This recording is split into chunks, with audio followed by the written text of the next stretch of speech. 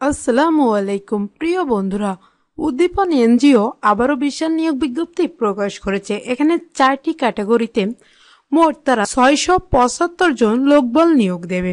আর এখানে আবেদনের মাধ্যম হবে ডাকযোগ, কুরিয়ার অথবা সরাসরি গিয়ে আবেদনপত্র জমা দিতে হবে। আর আবেদনের শেষ তারিখ হবে চোদ্দই নভেম্বর। তো এখানে সকল জেলার ছেলেমেয়েরা আবেদন করতে পারবেন। তো চলুন আমরা বিস্তারিত দেখে আসি।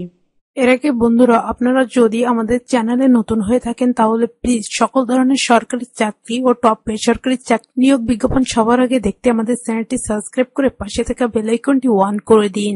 একদিকে আছে সিনিয়র প্রোগ্রাম অফিসার ও ব্রাঞ্চ ম্যানেজার ক্ষুদ্র ঋণ কর্মসূচি নিয়োগ সংখ্যা একশো তেতাল্লিশ জন, আর যোগ্যতা লাগবে স্নাতক অথবা স্নাতকোত্তর পাস আর এখানে অভিজ্ঞতা লাগবে শাখা ব্যবস্থাপক হিসেবে এক বছর কাজের অভিজ্ঞতা।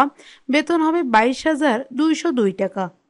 দুই দিকে আছে প্রোগ্রাম অফিসার ক্ষুদ্র ঋণ কর্মসূচি, নিয়োগ সংখ্যা সাতানব্বই জন, যোগ্যতা লাগবে স্নাতকোত্তর পাস আর এখানে কোনো অভিজ্ঞতার প্রয়োজন নেই।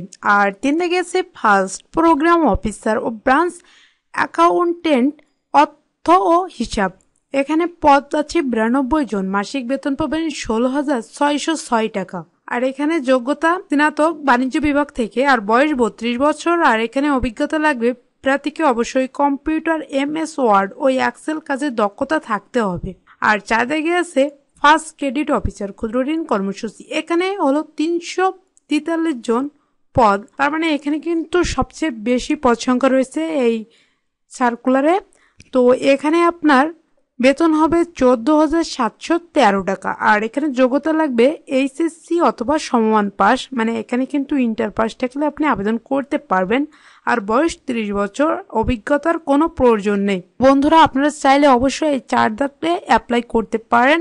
তো এখানে শর্তাবলী আছে, আবেদনপত্রের সাথে দুইশত টাকার ব্যাংক ড্রাফট অথবা পে অর্ডার অথবা পোস্টাল অর্ডার উদ্দীপনের অনুকূলে জমা দিতে হবে। তো বন্ধুরা, এটা সম্পূর্ণ ডাকযোগ, কুরিয়ার অথবা সরাসরি গিয়ে আবেদনপত্র জমা দিয়ে আসতে হবে। আর এখানে আবেদন, আবেদনের ঠিকানাটা আমার ভিডিও ডিসক্রিপশন বক্সে পেয়ে যাবেন। সেখান থেকে আপনি যদি চান আবেদন করতে পারেন।